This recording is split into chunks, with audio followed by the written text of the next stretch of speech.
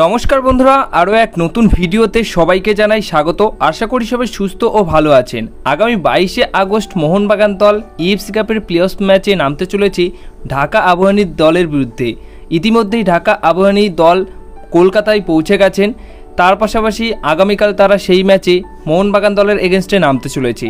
তো মোহনবাগান দল ঢাকা আবাহনী লিমিটেড দলের বিরুদ্ধে প্লেঅফ ম্যাচে কেমন শক্তিশালী দল নামাতে চলেছে, কি পরিকল্পনায় দল নামাতে চলেছে, সেটা নিয়ে আপডেট দেওয়া রয়েছে।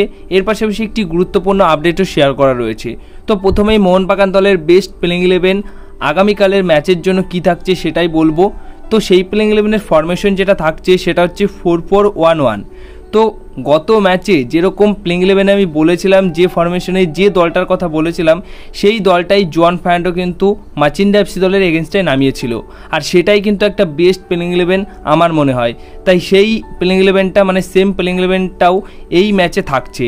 তো সেই ক্ষেত্রে ফোর ফোর ওয়ান ওয়ান ফরমেশনে গোলকিপারে খেলবেন বিশাল কায়েদ এছাড়া দুজন ডিফেন্ডারে হামিল এবং আনোয়ার। হামিল কিন্তু সত্যি তার পারফরমেন্স দিয়ে এখন খুবই ভালোভাবেই মুগ্ধ করছে। আর আনোয়ার তো সেরা লেভেলের খেলছে।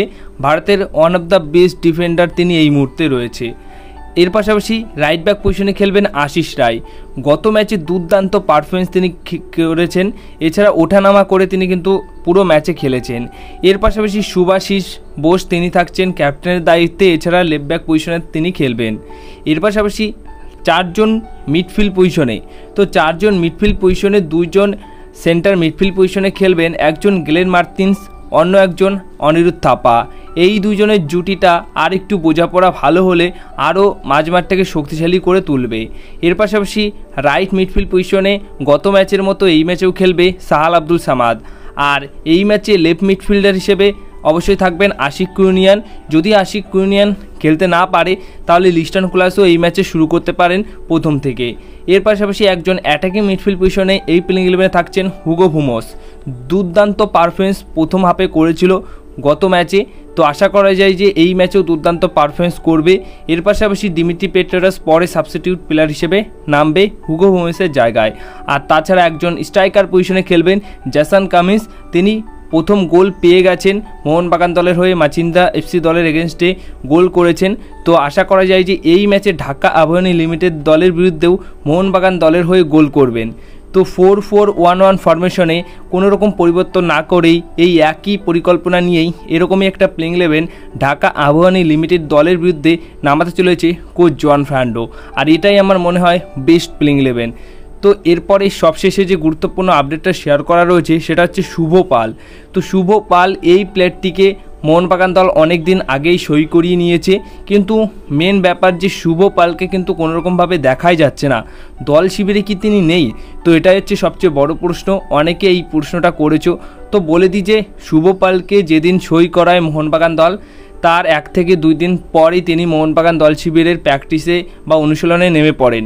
কিন্তু তারপর থেকে এক দুই দিন প্র্যাকটিস করার পর আমরা তেমন একটা ফটো হয়তো দেখিনি বা ফটো, ভিডিও কিছুই দেখিনি। সোশ্যাল মিডিয়া হ্যান্ডেল থেকেও পোস্ট করা হয়নি, বাট তার ইনস্টাগ্রাম অ্যাকাউন্ট থেকে দেখা গেছে যে তিনি প্র্যাকটিস করেছেন। তো পরবর্তী সময় গিয়ে আর কোনো রকম পোস্ট দিনই তার সোশ্যাল মিডিয়া হ্যান্ডেলে করেনি। এছাড়া মোহনবাগান দলও তাকে নিয়ে কোনো রকম পোস্ট করেনি। তো এখন কি তিনি আদৌ মোহনবাগান দল শিবিরে আছে বা নেই, সেটাই কিন্তু বড় প্রশ্ন থাকছে বা অন্য কোনো কারণের জন্য তিনি কি এখন দল শিবিরে নেই, এটাও একটা বড় প্রশ্ন। তো পরবর্তী সময় যদি কোনো রকম আপডেট পাই, তাহলে অবশ্যই জানাব। আর মোহনবাগান দল তিনি অবশ্যই ছাড়েননি। তিনি কোনো কারণের জন্য হয়তো এখন মোহনবাগান দলের সঙ্গে নেই। আর তাছাড়া আরও দুইজন তারকা প্লেয়ার ইয়ং প্লেয়ারকে সই করালো কিছুদিন আগেই। তো শুভপাল একসাথে মানে রিজার্ভ টিমটাকে যথেষ্ট শক্তিশালী করে রেখেছে মোহনবাগান দল। তো শুভপাল হয়তো খুব তাড়াতাড়ি জয়েন করবে। যখনই জয়েন করবে বা তিনি কোথায় ছিলেন, কি করছিলেন, এতদিন তাকে কেন দেখা যায়নি, সেটা নিয়ে যদি কোনো আপডেট বা কোনো নিউজ পাই, তাহলে অবশ্যই সেটা তোমাদেরকে জানিয়ে দেবো। তো এই ছিল আজকের ভিডিও যদি ভিডিওটা ভালো লেগে থাকে, ভিডিওতে লাইক শেয়ার কমেন্ট করো। আর এই চ্যানেলটিকে সাবস্ক্রাইব অবশ্যই করে নিও।